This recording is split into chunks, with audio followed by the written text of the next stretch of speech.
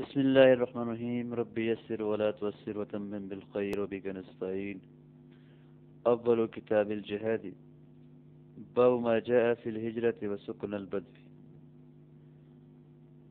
लफ्ज़ जिहाद जीम के कसरा के साथ। मुशक्क़त के माने में लघवी तौर पर इस्तेमाल होता है। कहा जाता है जहद जिहादन यानी बलगतुल और शरी तौर पर जिहाद का माना होता है बजरुल फ़ी किताल अविल बुगाती कलमतिल्ला अल्लाह के कलमे को और अल्लाह के हुक्म को और अल्लाह के कानून को अल्लाह की भेजी गई शरीयत को बुलंद करने के लिए और कायम करने के लिए काफरों या बागियों से लड़ाई कर। जिहाद कहलाता है। जिहाद के बारे में आने वाले अफवाब के अंदर तफसील खुद आ जाएगी। पहला बाब बाब माजा फिल हिजरत व सुकन अलबद हिजरत के बयान में जो कुछ, जो हदीसें आई हिजरत के बयान में, और हाँ बादिया, और शहर में, के भी नस्बत गाँव में और रहने के बयान में।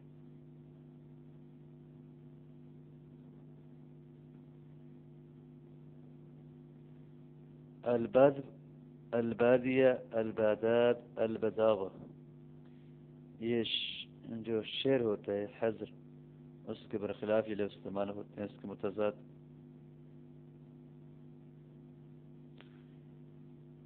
हिजरत नबी करीम ने जो है वो मक्का से मदीना की तरफ़ की हिजरत का क्या हुक्म है कब ये ज़रूरी हो जाती है और किन लोगों पर यह वाजिब होती है उसका बयान जो है वो इन अफवाह में आएगा कल हदसना मोहम्मद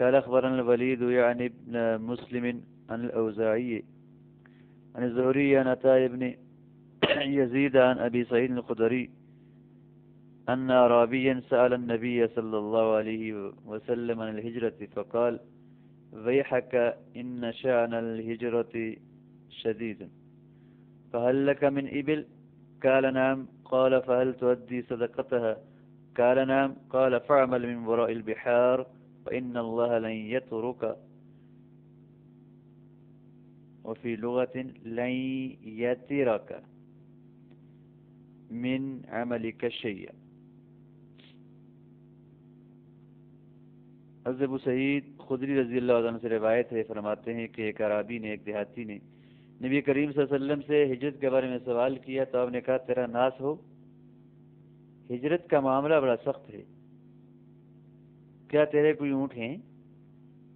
तो उसने अर्ज़ की, जी हाँ। आपने फरमाया, क्या तू उनका सदका, उनकी जक़ात देता है? उसने कहा, जी हाँ। तो आपने कहा तो तुम अमल करते रहो समुद्रों के पार से भी, शहरों और आबादियों के पार से भी। बेशक अल्लाह तुम्हारे अमल में से कुछ भी नहीं छोड़ेगा, यत ऊपर, यानी वो तुम्हें पूरा पूरा वसूल करके देगा। यतीरा का यन कुसा के माना। बेशक अल्लाह पाक जो है वो तेरे अमल में से किस भी कम नहीं करेगा।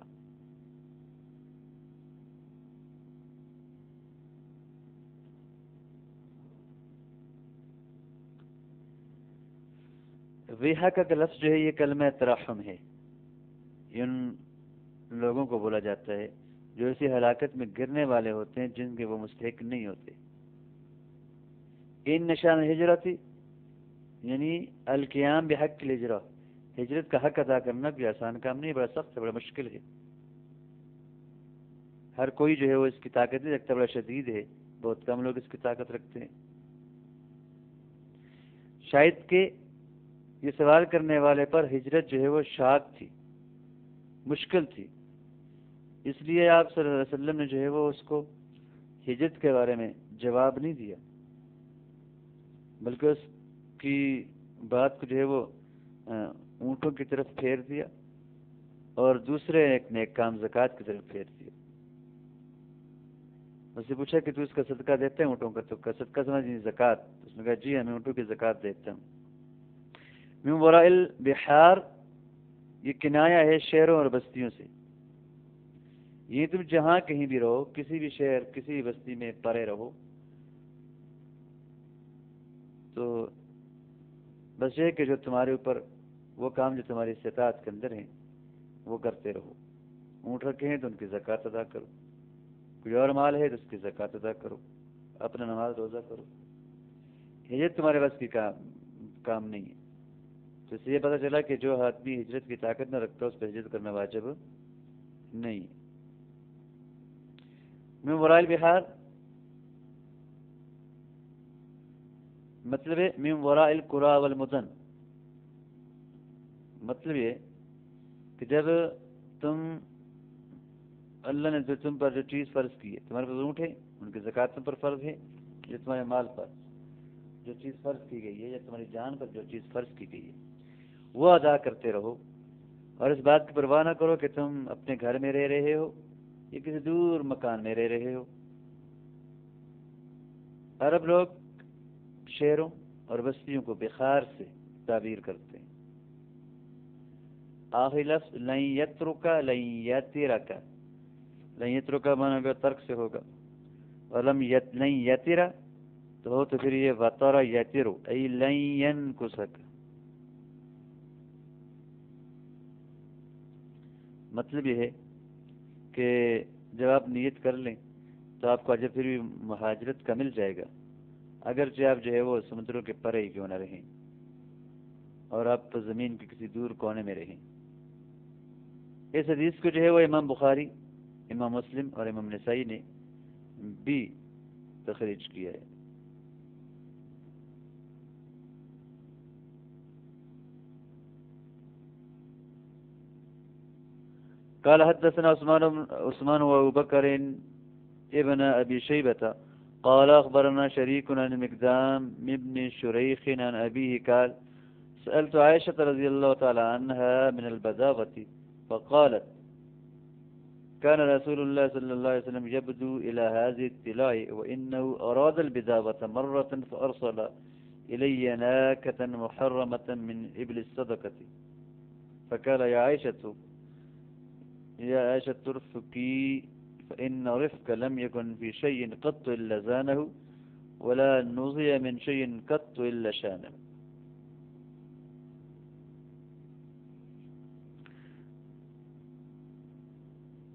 आयशा सिद्दीका के बारे में शेख ने अपने बाप से नकल किया वो कहते हैं कि मैंने आयशा सिद्दीका रजी से पूछा बदावत के बारे में बदावा कहते हैं, अलखरूज अलमुकाम बिही. देहात में रहना, देहात सिर्फ़ निकलना। तो मैंने इसके बारे में पूछा। अलबदावा, इसमें दो लोग होते हैं। अलबदावा बेकसर अलबा बिदावा व बदावा। बिदावा भी है और बदावा भी है। तो सीका ने फरमाया, काना अलैहि वसल्लम यबदू इला हाजिब तिलाई बदा यबदू?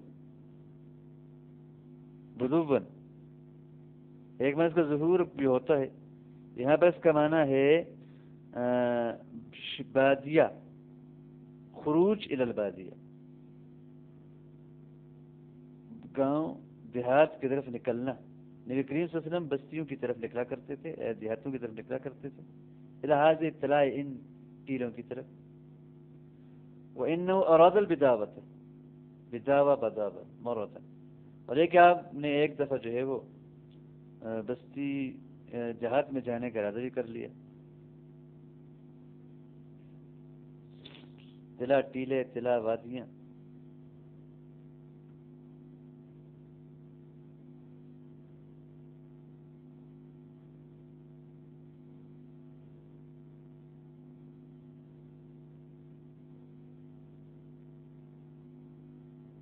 तो आप ने जो है वो फ़ारसल नाकतन महरमतन मिन इबल सदकत आपने सदका के ऊँटों में से एक ताज़ा ऊँटनी मेरी तरफ़ भेजी नाका मुहर्रमा कहते हैं जिस पर कभी कोई सवार ना हुआ हो और जिसको जो किसी काम में जलील न किया गया हो तो इन्हीं तरोताज़ा और बिल्कुल मुहर्रमा ऊँटनी भेजी जिस पर अभी तक किसी ने कोई सवारी नहीं की थी फ़काल यह आयशा तुरफू की तो आपने फरमाया आयशा नरमी इख्तियार करो इसलिए कि नरमी नहीं होती किसी चीज़ में कभी भी अल्लाह जाना मगर उसे मुजयन कर देती है वला नुज़ मनशन और किसी चीज़ नरमी हटाई नहीं जाती खींची नहीं जाती कब तो कभी भी अल्लाह शाना मगर ये इस चीज़ को जो है वो ख़राब कर देती है शैन ऐबदार कर देती है इसी माने के अंदर जो है जिसको मुस्लिम ने भी जो है वो ज़िक्र किया है।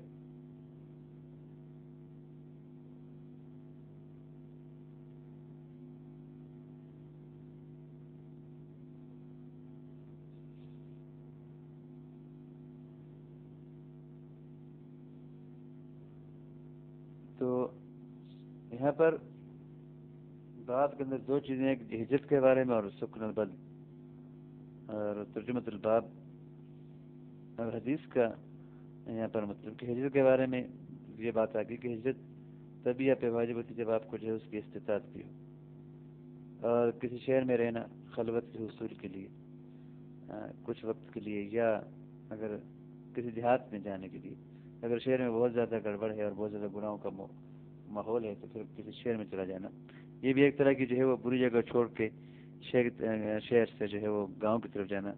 हिजरत ही है तो लिहाजा इसको भी इसके साथ जिक्र कर दिया बाबन फिल हिजरती अलिन कतात बाब हिजरत के बयान में कि क्या हिजरत ख़त्म हो गई है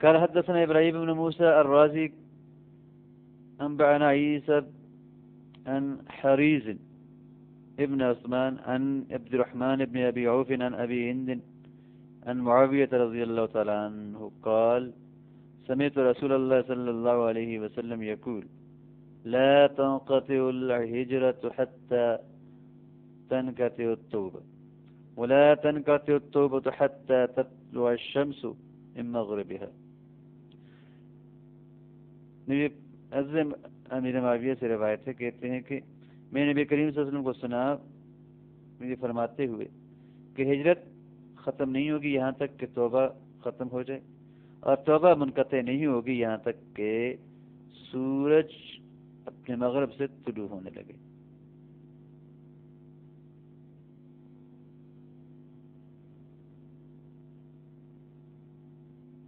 इस हदीस के अंदर इस बात पर वाज दलाल है कि हिजरत ख़त्म नहीं हुई हिजरत जो है वो मुनक़ नहीं हुई और इससे अगले बाब की जो हदीस इस अगली जो हदीस है हजरत इबन अब्बास रजी तु की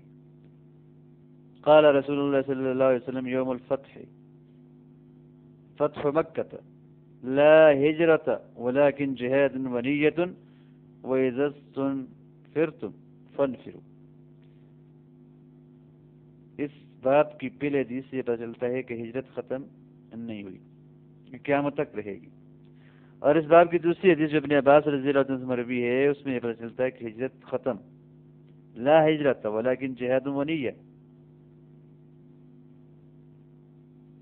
कहीं जो फतह मक्का तक थी, उसके बाद ख़त्म होगी। अब इन दोनों हदीसों के दरमियान तत्वीक और जमा में जो है इख्तलाफ किया गया खताबी ने मुआलम में कहा है कि इब्तदाई इस्लाम के अंदर हिजरत फ़र्ज़ थी। फिर ये मंदूब और मुस्तहब होगी और अल्लाह रब्बुल कौल, वमन युहाजिर फ़ी सबीलिल्लाह यजिद फिल अर्द मुरागमन कसीर वसातन ये आयत करीमा भी इसी मंदूबियत की तरफ़ इशारा करती है। यह आयत नाजिल हुई। जब मुशकिन की मुसलमानों पर मक्का में तकलीफ़ें ज़्यादा सख्त हो गई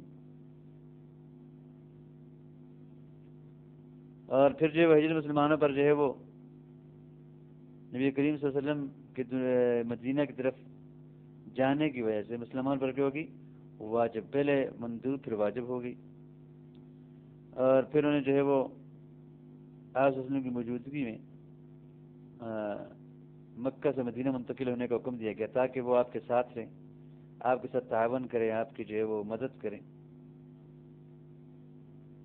और आपसे जो है वो दीन सीख सकें।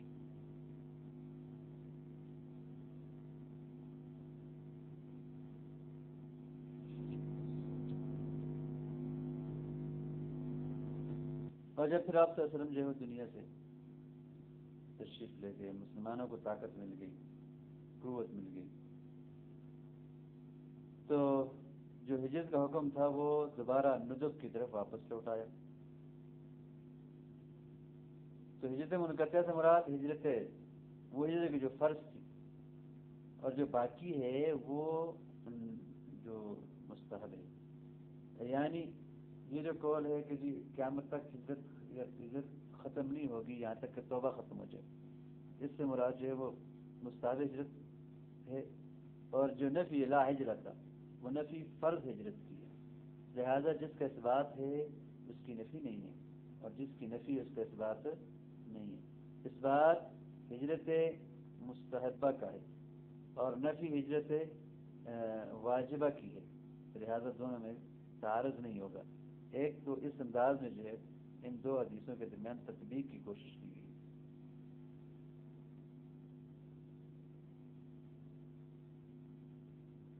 और यह सूरत में है कि जब इस बात को तस्लीम किया जाए कि इन दोनों हदीसों की जो असनाद हैं वो बराबर बराबर हैं, बेन बेन।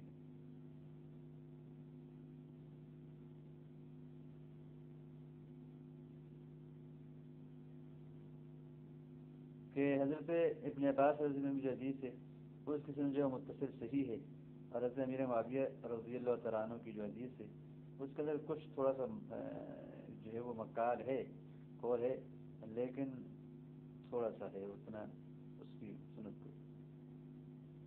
और शर सुनना के अंदर ये कहा गया है कि जमा की सूरत हो सकती है कि लाजबाब फत का मतलब ये है कि मतलब मक्का से मदीना की तरफ़ हिजरत नहीं है।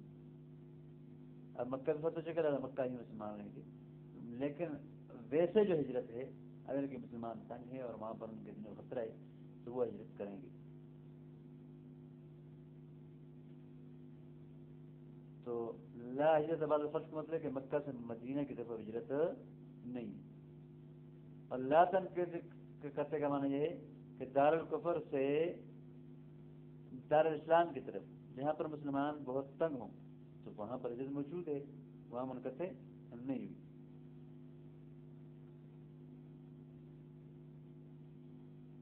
इस हदीस को जो है वो इमाम नसाई ने भी जो है ज़िक्र किया है।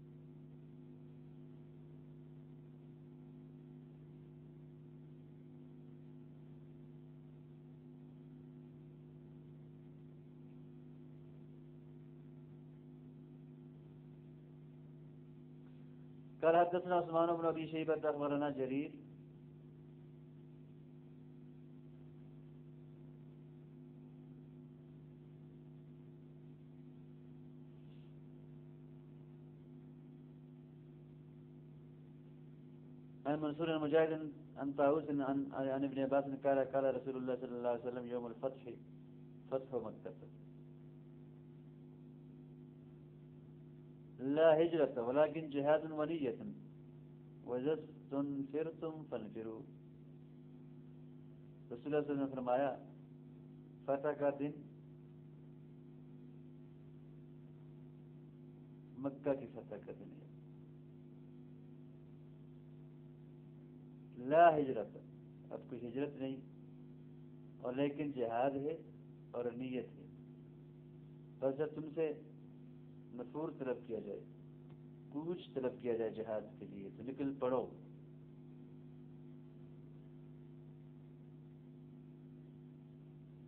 यहाँ पर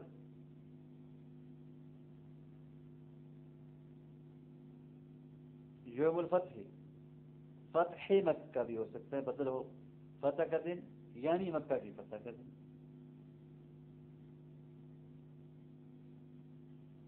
ला हिजरत मतलब ये कि वाजिब नहीं है कोई हिजरत। मक्का से मदीना की तरफ़। लेकिन जिहाद है और नीयत है। यानी हिजरत जिहाद के सबब से अल्लाह के रास्ते में है। और हिजरत जो नीयत है खालसा के सबब से हो, अल्लाह के लिए। जैसे तलब इलम के लिए हिजरत है, फितनों से भागने के लिए हिजरत है तो ये तो क्यामत तक बाकी रहेंगी। वो इजस सुन फिर तुम यहाँ पर इजस सुन फिर तुम तापे। जम्मा पढ़ेंगे पापे कसरा पढ़ेंगे बिस्फजनी मशहूर पढ़ेंगे। फन फिर मतलब जब तुमसे इमाम जंग की तरफ़ खरूज का मुतालबा करे तो निकलो उसकी तरफ़, ये वाजिब है। और जिसको जो है वो मुतन कर दे इमाम, वो मुतन हो जाएगा और उसके निकलना वाजिब होगा। इमाम बुखारी इमाम मुस्लिम इमाम तिरमिजी और नसाई ने इसकी तखरीज की है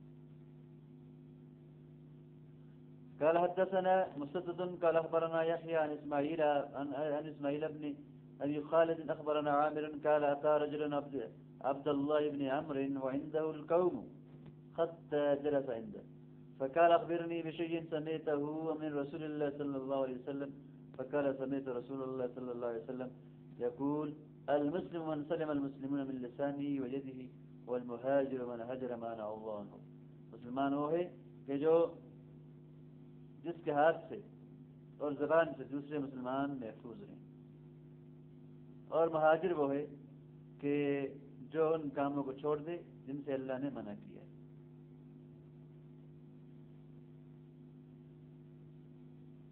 अलमुस्लिम मन सलमल अई अलमुस्लिम अल कामिल मुसलमान हुए वल महाजिर मन हजर तरक का हजरा मन तरका के माना है हिजरत दो होती है एक हिजरत जहरा होती है किसी से बातिना ज़ाहिरा हिजरत एक जगह को छोड़कर दूसरी जगह पे चले जाना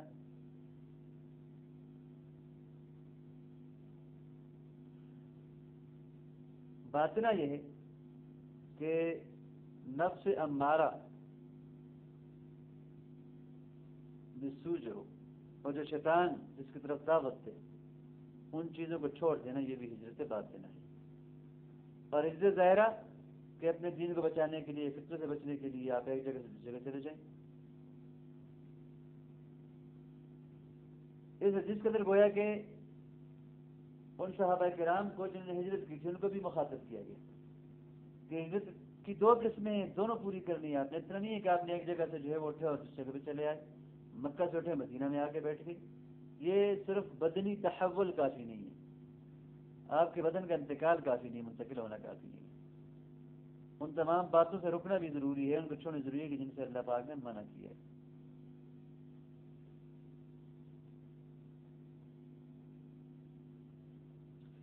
ताकि साहबा कराम जो है, वो सिर्फ़ इस बात पर जो है, वो इतफा न कर लें कि हमने इज़्ज़त कर ली बस। ताकि वो अल्लाह के अवामिर की जो है वो तमीर कर सकें और हराम कामों से और मनहियात से बच सकें। बाबन फ़ी सुकन शाम।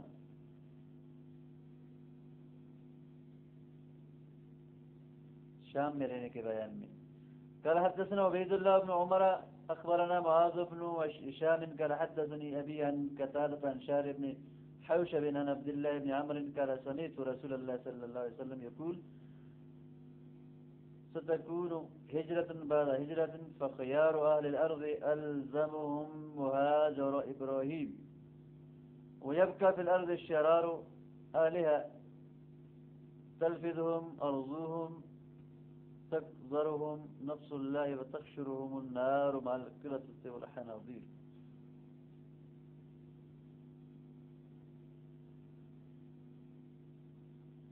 अब्दुल्ला अमर से रवायत है कहते मैंने नबी पाक को सुना ये कहते हुए कि अनकरीब हिजरत के बाद हिजरत होगी।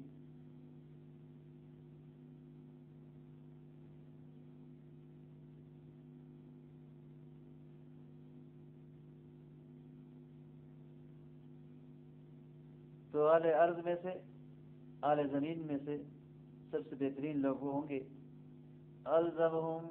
मुहाजर और इब्राहिम इब्राहिम की जाए हिजरत को लाजम पकड़ेंगे इब्राहिम की जाए हिजरत शाम तो हिजरत बाद हिजरतिन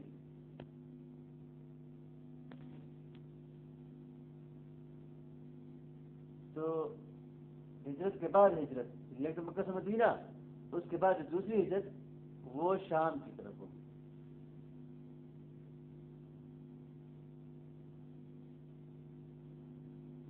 मुहाजर जीम के फतह के साथ इससे शाम मुराद है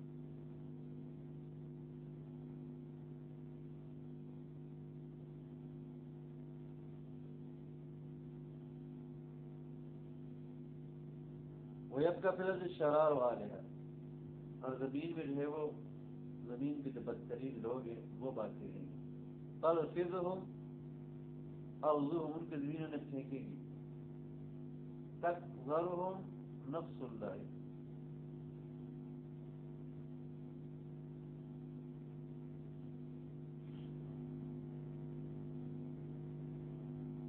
तक रहो तक रहो उनका माना उन्हें नापसंद समझेगा नफ्सुल्ला ज़ातुल्ला अल्लाह ताला की ज़ात उन्हें जो है नापसंद चाहिए मतलब ये कि अल्लाह ताला जो है वो उनके इन ज़मीन की तरफ़ निकल ले। और वहाँ रहने को नापसंद करेंगे लिहाजा उनको इनकी तोफीक नहीं देंगे।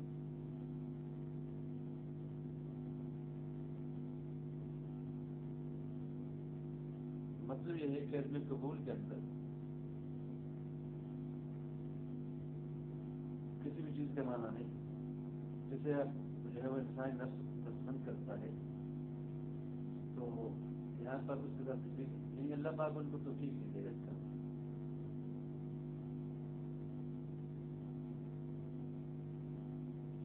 वतक्षर मुन्नार।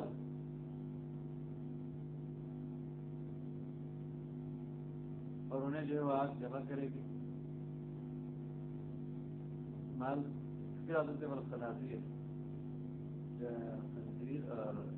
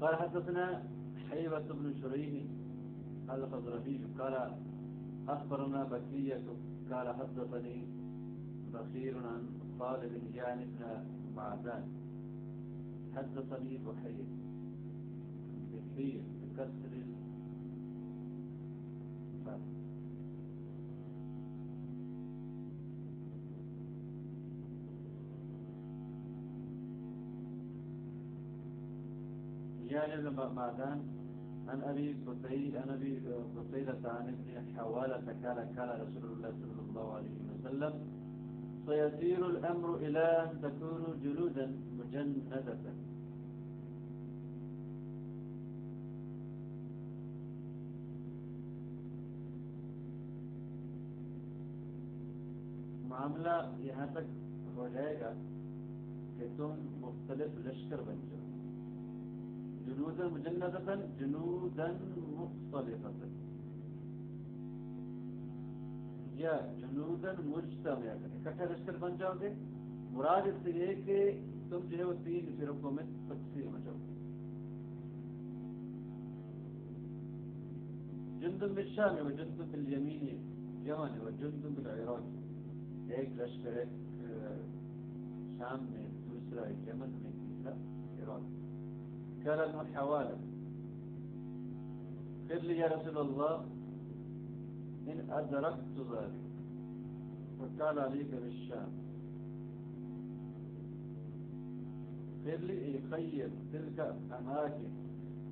इनसे जो एक मान एक जब जगह वो वैसी पसंद कर दीजिए ये जो अच्छी जगह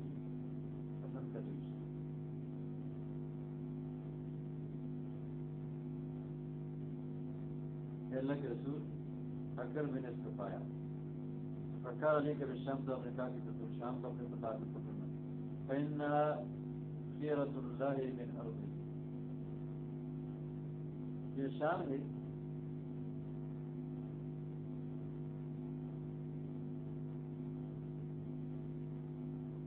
खाया ये पसंदीदा जगह है रब इज़्ज़त की तरफ़ से उसकी ज़मीन यजतरी इलई खैर इस तरह जो है वो उन्हीं लोगों को लाता है जो मेरे वक्त में से मुख्तार होते हैं चुने हुए होते हैं पसंदीदा होते हैं इधर अभी तुम मतलब तुम इनकार करो शाम को लाजम पकड़ने से रुक जाओ वालेकुम बीजम अलैकुम तो फिर तुम अपने यमन को जो लाजम पकड़ो मिन वदालिकुम गदी की जमाए फौज के माने अपने हौसलों से। फ़ैन अल्लाह तवक्कल ली शाम वाली तकफ़ल तज़मन अल्लाह ने मुझे जो है वो शाम, और शाम की जमानत दी कि रात की अल्लाह अपने फितने नुकसान नहीं करेगा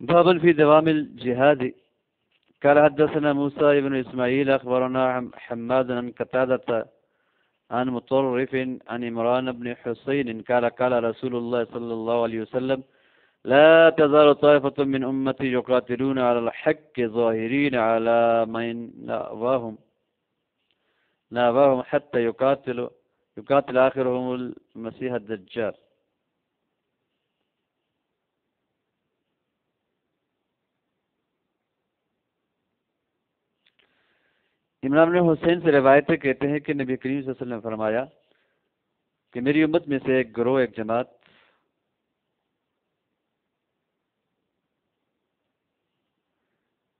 मुसलसल जो है वो किताल करेगी हक के लिए और वो गालिब होंगे। उन लोगों पर नावा हूँ।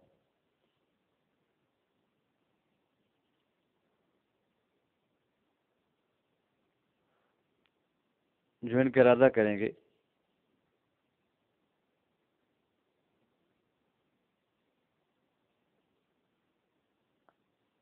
हक का माना है कि अला तफसीली व जहारी के हक के हासिल करने के लिए हक को ज़ाहिर करने के लिए वो लड़ाई करेंगे, किताल करेंगे।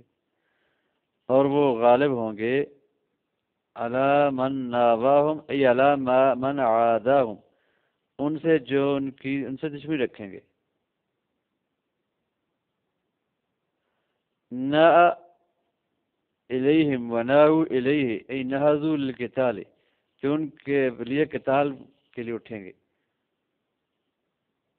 और नवा हमजा के साथ मनावात और मुआदात एक माने में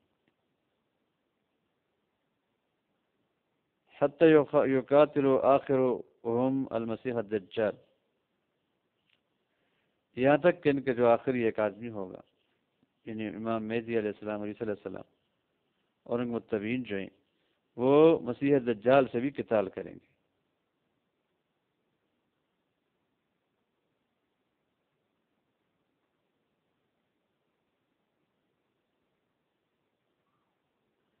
यहाँ पर जो है वो ताइफा से मुराद आल सुन्नत वल जमात है।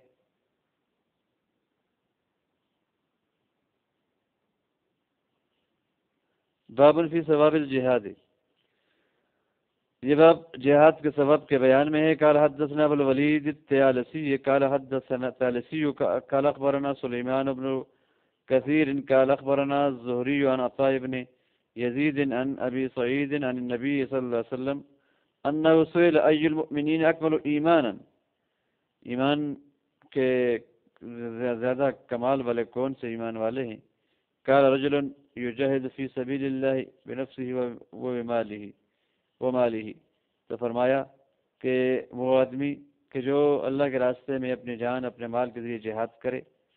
वरजुल युबदु याबुदु ला फ़ी शेब मिन शयाब। और कोई आदमी जो घाटी में से किसी घाटी के अंदर अल्लाह की इबादत करे। कद कफन नास शर्रु शर्रहु। तो अल्लाह जो है वो उसके लिए लोगों की शर से काफ़ी हो जाता है।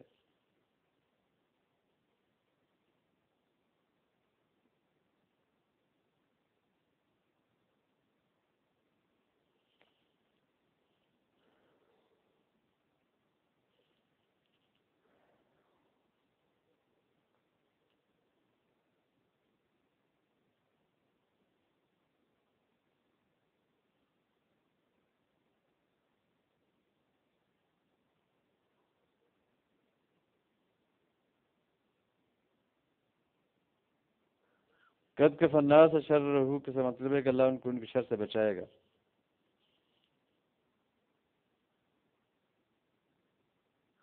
शिहाब व मन फरज बिन जबलैन, दो पहाड़ों के दरमियानी कुशादगी को जो है वो घाटी कहते हैं।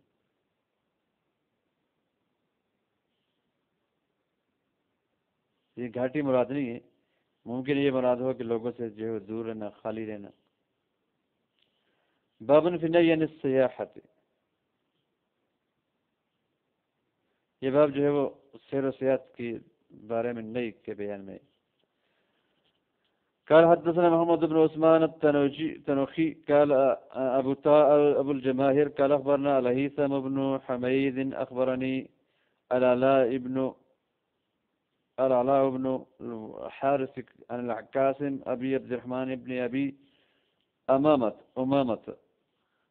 अन रजन काल के एक आदमी ने कहा अर्ज़ की या रसूल एजन ली सियाह मुझे जो है वो सैर सियात की इजाज़त दीजिए फ़काल काल नबी वसल्लम इन सियाहत उम्मती अलजहाद फ़ी सबील मेरी कौम मेरी उम्मत की जो सियाहत है वो अल्लाह रब्ज़त के रास्ते में जिहाद करना है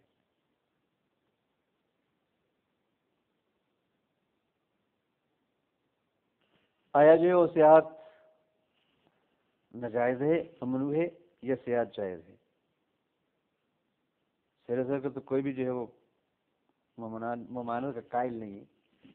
तो इसका जवाब यह है कि इस साइल ने गोया के नबी पाक वसल्लम से जो सेहत की बात की थी, ज़मीन में दूर निकलने की। ये अपने नफ्स को जो है वो तकलीफ़ देने के लिए उसको मगलूब करने के लिए उसने ऐसा किया था। ताकि जो है वो मुबाहत से और लज्जतों से दूर हो जाए। क्योंकि जब आदमी सफ़र में होता है तो फिर वो सहूलतें नहीं तो जो घर में होती है। इसमें जो है जुम्मे का तर्क लाजम आता है, जमात का तर्क लाजम आता है और इलम वगैरह की तालीम का हर्ज लाजम आता है। इस बिना पर आपने जो है उसको मना कर दिया। जिस तरह उस्मान इबन मजून पर आपने तबत्तल को मना कर दिया था।